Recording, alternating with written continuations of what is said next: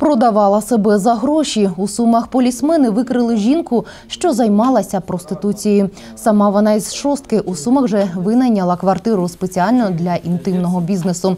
Клієнтів знаходила через інтернет.